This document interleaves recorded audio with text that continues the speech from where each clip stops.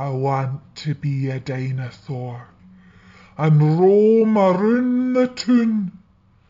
I want to be a muckle beast and gobble ye richt doon.